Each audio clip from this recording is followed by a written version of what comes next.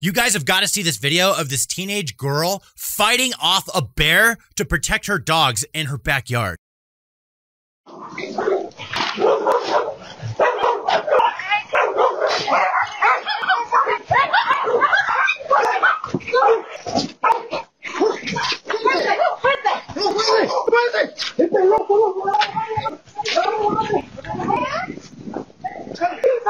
This video was uploaded on TikTok by a user named Baked Like Pie, and the video got over 56 million views as of the time of recording this. That is so crazy how that went down. That bear was like about to eat that little dog. I commend that girl for taking care of her pups, going over there and fighting off a damn bear. What a badass.